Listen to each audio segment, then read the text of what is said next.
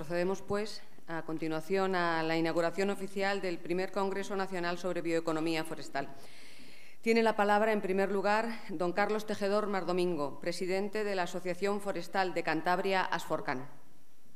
Buenos días y muchas gracias.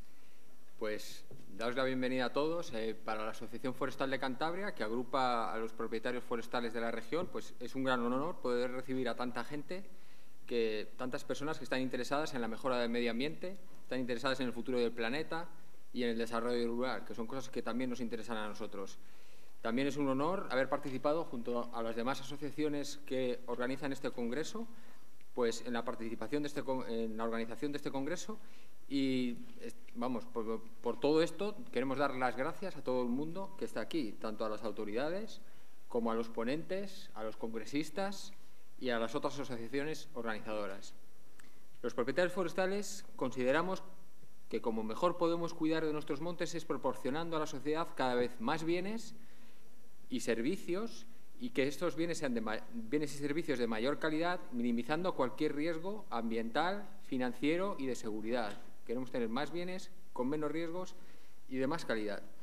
Por eso apostamos por la bioeconomía forestal. Se trata de sustituir unos productos no renovables, de origen fósil y grandes consumidores de energía en su transformación, como puede ser, ya sabemos, el acero, el hormigón, los plásticos, las fibras sintéticas, los combustibles fósiles, por otros productos que son renovables, que luchan contra el cambio climático y de mayor eficiencia energética, como puede ser la madera en sus distintas presentaciones, el cartón, la viscosa, la biomasa energética, etc.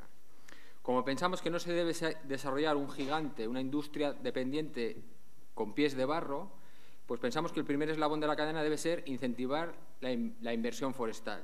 La inversión forestal tiene dos características intrínsecas, que son el retorno a plazos largos, entre 30 y 45 años de amortización, y la segunda es que hay una gran incertidumbre ante cualquier desgracia que pueda ocurrir en este periodo, ya sean incendios, plagas, enfermedades, vendavales, nevadas.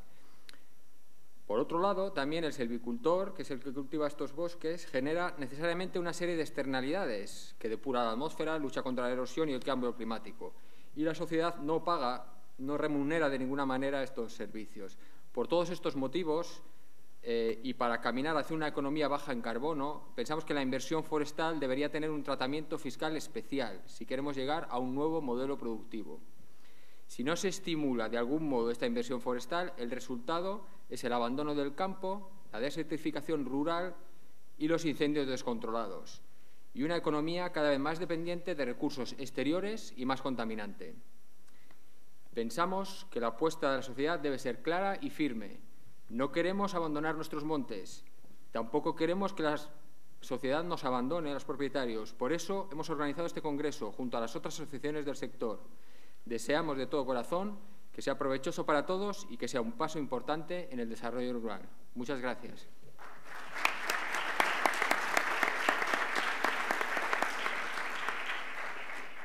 A continuación, interviene doña Ichaso Saiz Ferrero, presidenta de la Asociación Cántabra de Empresarios de la Madera y del Comercio del Mueble, ACEN. Buenos días a todos, autoridades, señor presidente, eh, consejero Jesús Soria, autoridades presentes, ponentes y congresistas. Muchas gracias a todos por haber hecho posible que estemos inaugurando este primer Congreso Nacional de Bioeconomía Forestal.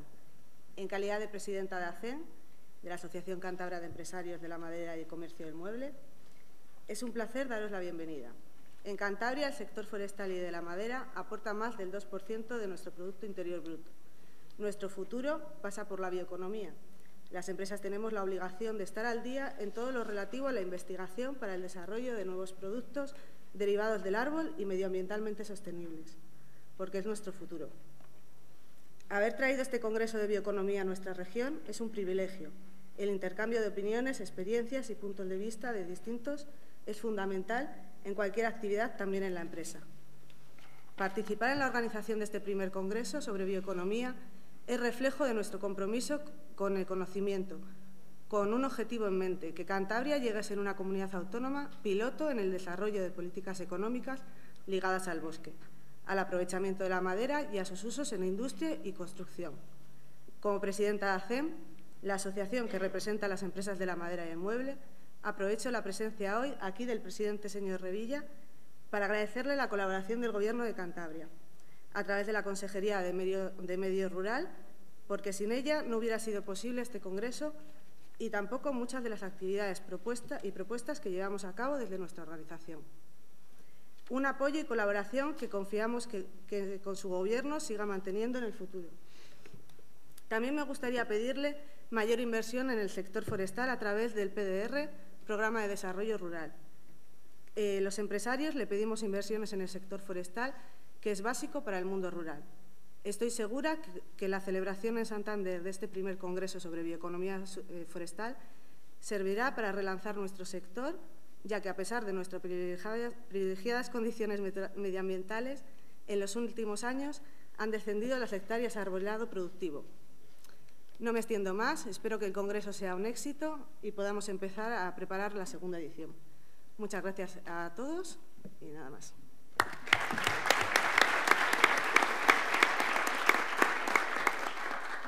Toma la palabra don José González Granados, decano presidente del Colegio Oficial de Ingenieros Técnicos Forestales y graduados en Ingeniería Forestal y del Medio Natural, COIFT.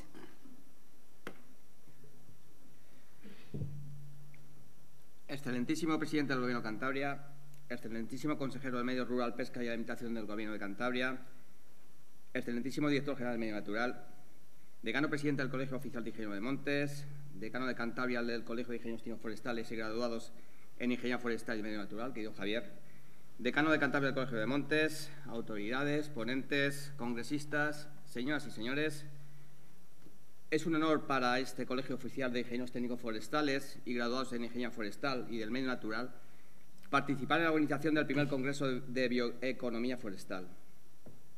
En los próximos años, la sociedad debe hacer frente a retos importantes, entre los cuales cabe destacar la alimentación del planeta y la reducción del impacto antrópico en el cambio climático. Ambos fueron puestos de manifiesto durante el año 2015 por un lado, en la Exposición Universal de Milán, bajo el lema Alimentar el planeta, energía para la vida, y por otro, la Cumbre de Naciones Unidas en París sobre cambio climático, en la que se cazó el compromiso de avanzar hacia una economía baja en carbono. Ambos desafíos son trascendentales y tienen carácter global, por lo que es necesario que todos los países contribuyan a impulsar modelos productivos más respetuosos con el medio ambiente.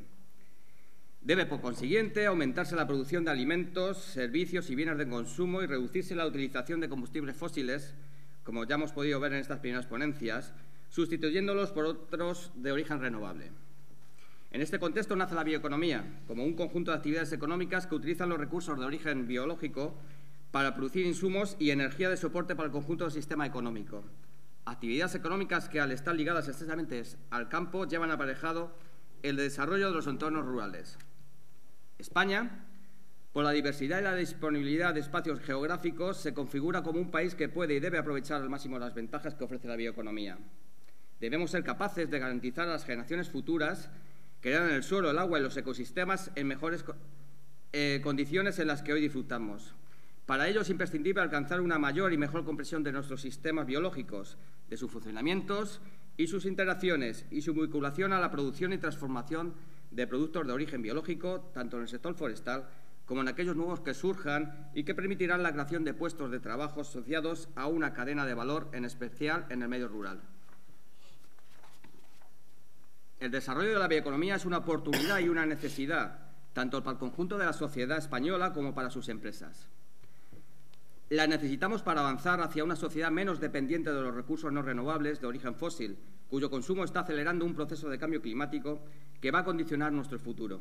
Las soluciones pasan por generar conocimiento científico y su implementación tecnológica I más D más I, desarrollando y posicionando en el mercado una amplia gama de productos de alto valor añadido a partir de materias primas de origen renovable. Este es el objetivo principal de la Estrategia Española de Bioeconomía 2016-2030, aprobada por el Ministerio de Agricultura, Pesca, Alimentación y Medio Ambiente en el año 2016, y en la que el sector forestal tiene un papel fundamental. Se pretende que la bioeconomía sea una parte fundamental de la actividad económica, caracterizada por la innovación, la colaboración público-privada y una integración de ciencia y tecnología. Para alcanzar este objetivo se tendrá que contar con recursos técnicos, económicos y organizativos que dependerán o deberían ser puestos a disposición por las instituciones que la promuevan. Entre las actividades que se incluyen en la estrategia ligadas al sector forestal están las relacionadas con la obtención y transformación de la madera, el corcho, la resina, la producción de papel y bioproductos, así como la obtención de bioenergía. Estos procesos productivos, con gran potencial de generación de empleo y valor añadido, llevan aparejados cantidades importantes de biomasa que debe ser aprovechada. Además, este recurso, al ser autóctono y local, es más difícil de sustituirle en una economía globalizada. No hay que olvidar los aprovechamientos y servicios ligados a los ecosistemas que engloban desde actividades de recolección de setas hasta turismo y ocio. Todos estos temas van a ser tratados en este Congreso, con una visión global, desde la investigación básica hasta productos y servicios que ya están disponibles en el mercado. Como ejemplos de lo que es la bioeconomía, no solo es posible, sino que ya está entre nosotros. Estoy convencido y doy por seguro que este magnífico Congreso, dentro de un escenario inigualable como es Cantabria, sirva para que todos aprendamos un poco más sobre bioeconomía, su presente y, sobre todo, su futuro, nuestro futuro. Muchas gracias a todos por, por su atención.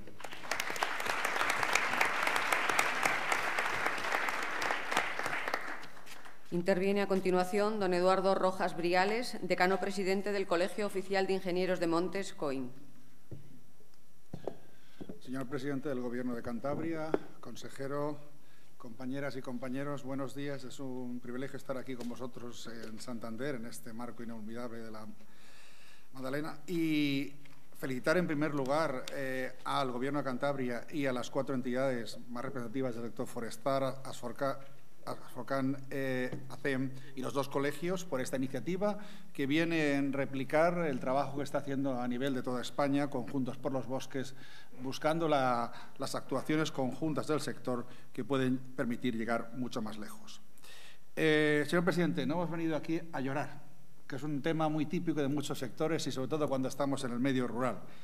Evidentemente, nuestro compromiso, como no puede ser de otra manera, es con los montes, con el mundo forestal, con la montaña y con sus moradores, absolutamente. Y siguiendo un poco la estela de mi compañero el decano de la Ingeniería Técnica Forestal, eh, hemos de mantener siempre la vinculación con los debates internacionales. Y si recordamos eh, el principal mensaje de la cumbre de Río más 20 en 2012, además de los Objetivos de Desarrollo Sostenible, fue observar que hemos superado los retos sectoriales pero donde estamos atascados en cualquier país del mundo son los restos transversales.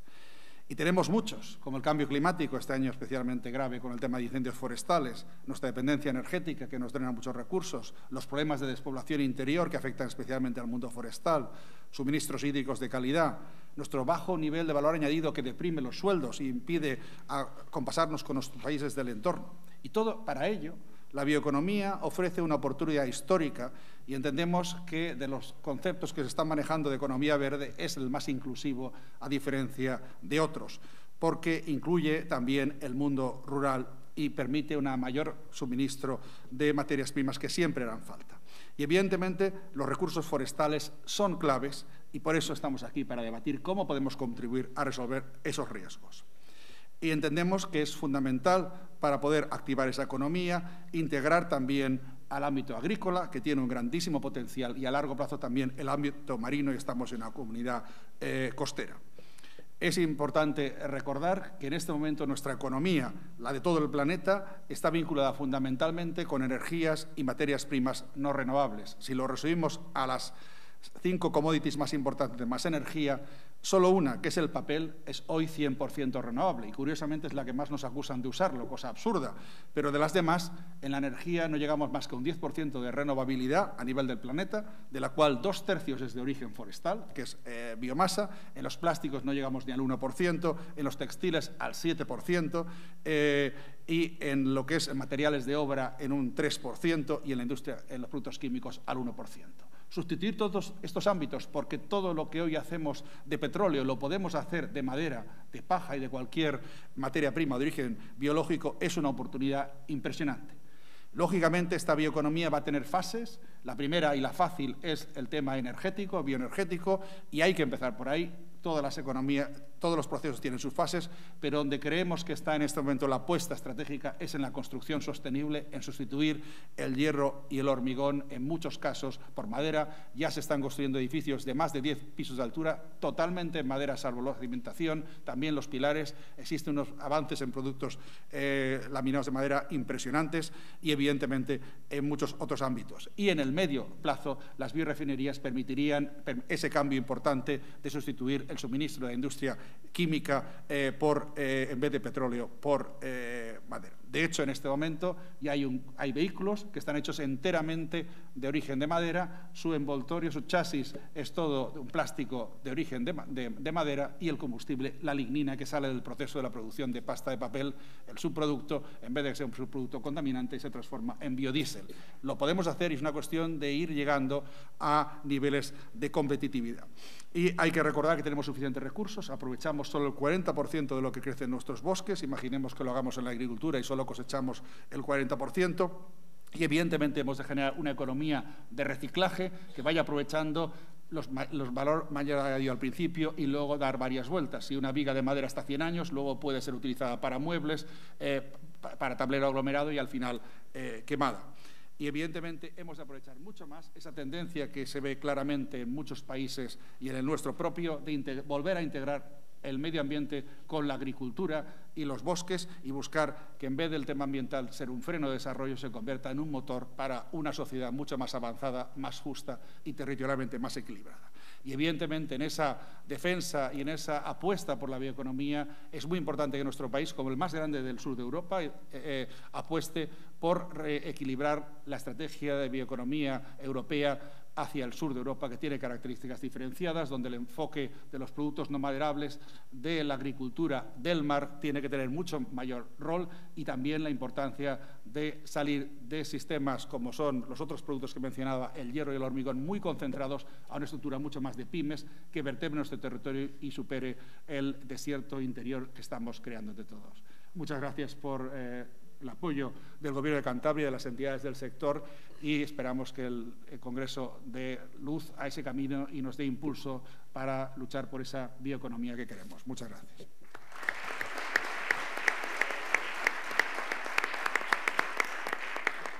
Procede a la inauguración del Congreso el excelentísimo presidente de Cantabria, señor don Miguel Ángel Revilla Roiz. Buenos días. Doy especialmente la bienvenida que me dicen que aproximadamente dos tercios de los que hay aquí no son de Cantabria.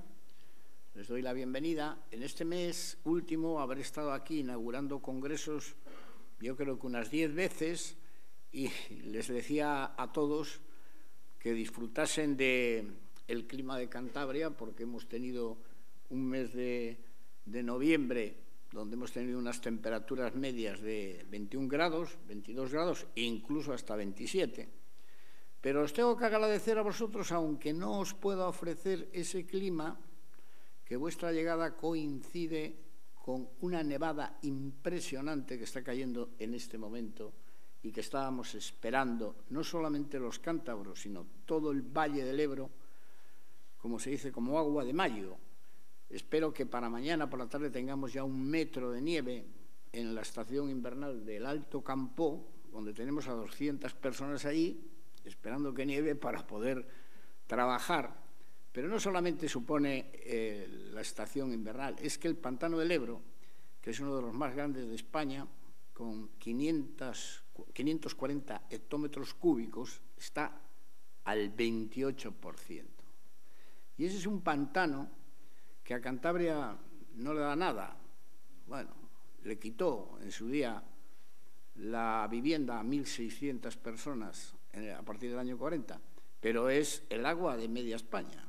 Es el agua que están esperando en Euskadi, que algo riega, Rioja, Navarra, Aragón y Cataluña. Y esa nevada que está llegando ahora, pues va a conseguir volver a poner el pantano en unas condiciones muy buenas. Por eso, aunque no puedo ofreceros en esta estancia un clima como el del mes de noviembre, pues gracias por haber venido en el momento en que empieza a nevar en esta tierra. Eh, esto que vais a tratar hoy aquí forma parte de dos cosas que a mí me tienen dando vueltas a la cabeza desde años, que son dos. Una, eh, las energías renovables, que llevo predicando la necesidad de que cambiemos el modelo energético de este país. Ayer ha salido un documento, la Unión Europea ya nos está avisando reiteradamente que no cumplimos con lo que se aprobó en París y, por ejemplo, en energía solar, el año pasado, eh, en Europa se pusieron en marcha, creo recordar, 22.000 gigavatios de energía solar. 22.000 en Europa. Eh, países con tanto sol como Alemania, Finlandia y Suecia multiplican Alemania por 40, Finlandia por 20, Suecia por 15 la inversión que ha hecho el año pasado, o la puesta en marcha que hizo el año pasado España en energía solar. 0,07 gigavatios. Eso es un escándalo que provoca, yo creo que en determinados países, hilaridad y que les hará pensar, pero bueno, esta gente, ¿para qué quiere el sol? Hombre, está muy bien que nos viene, nos viene a los alemanes al pelo para venir en verano o incluso en invierno a ponernos tostados, pero que este país no sea capaz de aprovechar todo el sol que hay para poner en marcha, pues hombre, el nivel de Alemania como mínimo. Bueno, pues así está ocurriendo prácticamente en todo. Hemos apostado por el petróleo y el carbón y somos, claro, el país de Europa con mayor dependencia energética del exterior. Y tenemos que pagar todos los años pues 40.000 millones de euros que hay que poner ahí para pagar energía que compramos cuando tenemos en España condiciones, esto de la biomasa, eh, la energía eólica, la energía solar, incluso la mareomotriz, todas esas, pero se ha apostado por las energías tradicionales porque estamos en manos de las grandes empresas que tienen sus inversiones en este sector. Y cuando alguno intenta poner en marcha, como ocurrió hace unos años que 62.000 españoles decidieron apostar por un anuncio, era la época de finales del gobierno del PSOE y vísperas de la llegada del Partido Popular, con unos anuncios muy sugerentes del Ministerio de Industria, sea patriota, invierta en energía española, pues 62.500 eh, españoles pusieron mm, del orden de 2.000, eh, no, de 22.000 millones de euros en poner huertos solares al final de la legislatura toda la regulación la cambiaron, después de haber hecho la, inversión. El Partido Popular reforzó luego todavía más la regulación, suprimiendo las ayudas, y han llevado a la ruina pues a 62.000 señores que están ahora en manos de los bancos y probablemente esas instalaciones caerán, al final seguro, en manos de las grandes empresas eléctricas, supongo. Bueno, es un camino absolutamente equivocado. Y el otro camino equivocado que yo ya denunciaba allá por los años 70, pues es la política de despoblación de España. Cantabria es un ejemplo, quizá no el más extremo, pero yo creo que el mayor error de los últimos años en España es construir un país a base de grandes ciudades y de abandonar todos los espacios rurales, cuando hoy, con los medios tecnológicos que hay y habiendo buenas comunicaciones, eh, se pueden llevar empresas desde lugares bien apartados de las ciudades. Eh, yo, cuando voy a Madrid en el avión y hace bueno, pues siempre cojo ventanilla y voy mirando un desierto, prácticamente un desierto, pasas por encima de Burgos y luego pues tarda el avión media hora donde no ves ni una casa, no ves nada y de repente al fondo aparece una boina de contaminación y allí bloques de hormigón y gente y gente y gente, embajadas, hoteles, turistas, huelgas de... Bueno, lo de ayer en Madrid ha sido una locura. Lo de ayer, ¿qué día tuve ayer? Me daban a las 10 de la mañana un premio, no, a las 9 de la mañana un premio eh, a Cantabria, porque por votación popular la han escogido como región preferida por los españoles. Claro, tenía que ir a recogerle junto a otros premiados. Y entonces yo por la noche ya sabiendo, el taxi que me traía dice, mañana no tiene usted taxi.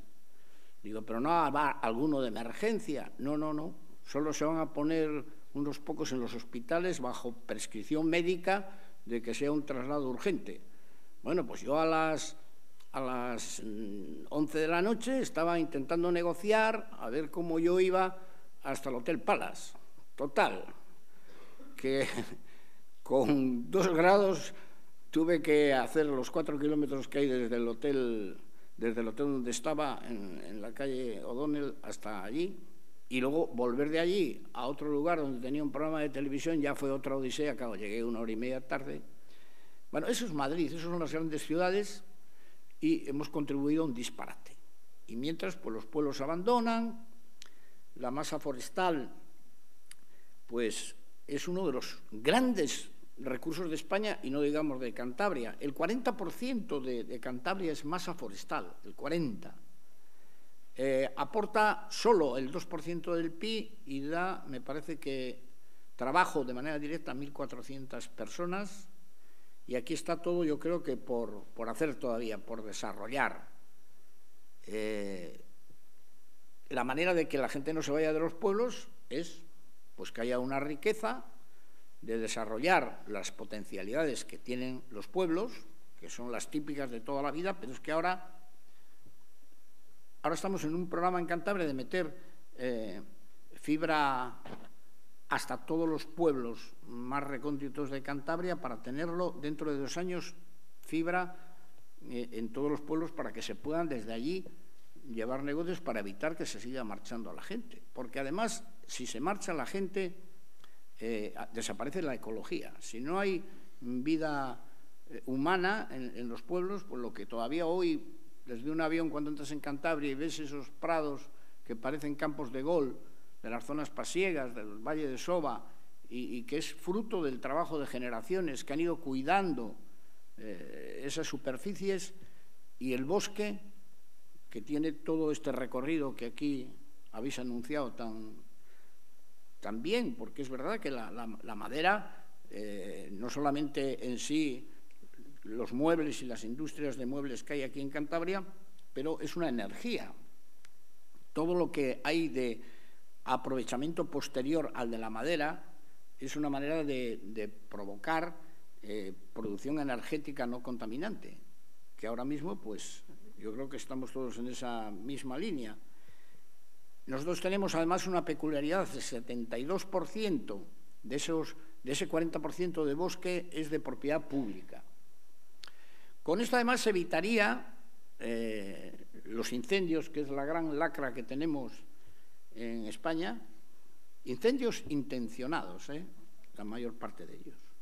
Aquí tenemos el mes malo, a diferencia de otros lugares, a partir del mes de febrero, marzo, son unos meses terribles, pero nos tendría que obligar a, cuidarlos más y a hacer limpiezas y a potenciar una industria que yo creo que tiene muchísimo recorrido. Yo he escuchado aquí eh, petición, nada más ha habido una petición. ¿eh?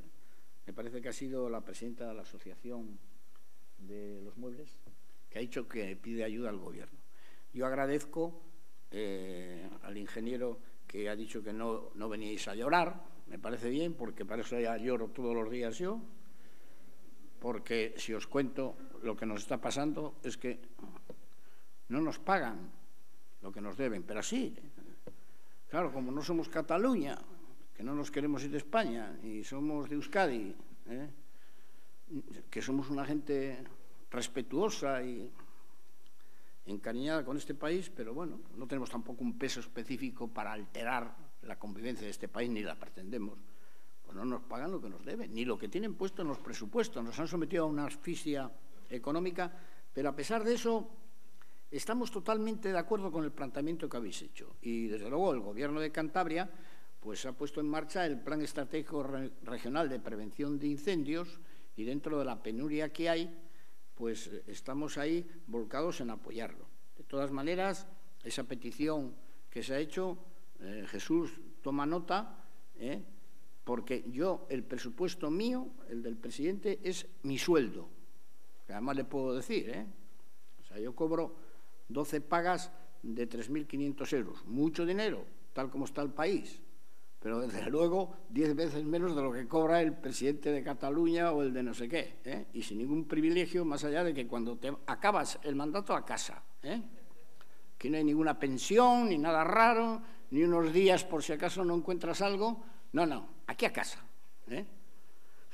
Como detalle os digo que en la anterior legislatura, donde el PP sacó mayoría absoluta, bueno, yo tampoco eh, tengo ningún, nunca voy de presidente por ningún sitio, pero me reclamaron 320 euros porque me decían que me habían pagado unos días de más, cosa que devolví inmediatamente, pero es lo único que tenemos.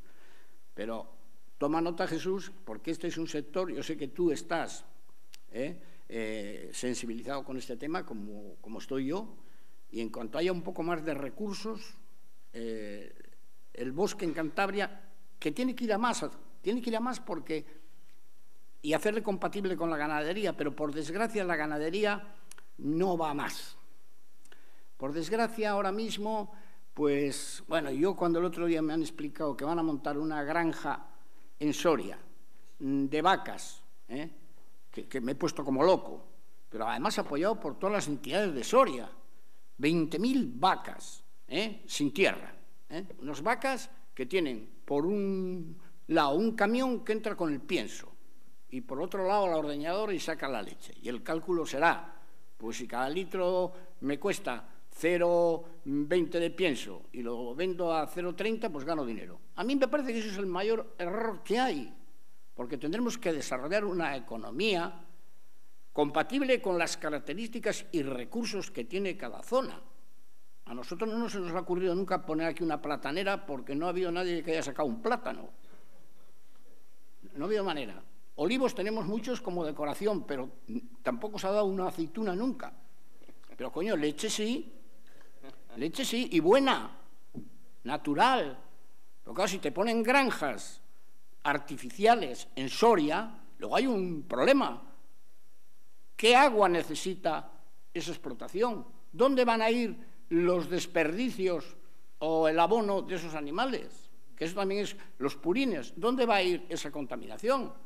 Hombre, tenemos que hacer una economía que esté hecha para intentar que no se vaya a llamar gente de los pueblos y que los recursos que tenemos los explotemos racionalmente, en convivencia con la naturaleza de los habitantes, que son los mejores ecologistas. Nosotros tenemos ahora un problema gordísimo, que estamos intentando poner el freno. Si en Cantabria desapareciera el ser humano, ahora y volviéramos dentro de 10 años, desde un avión no veríamos más que plumeros. No habría más. Allí donde no hay alguien que atienda un una finca, plumeros. Habréis comprobado yendo por la carretera esos bosques de plumeros que nos han invadido y que vienen de la pampa argentina.